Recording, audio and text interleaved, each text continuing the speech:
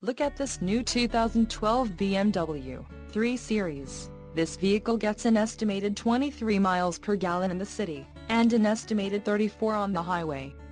This 3 Series boasts a 2.0-liter engine, and has a unspecified transmission. Additional options for this vehicle include the Xenon adaptive headlights, premium package and the technology package. Call 866 462-7124 or email our friendly sales staff today to schedule a test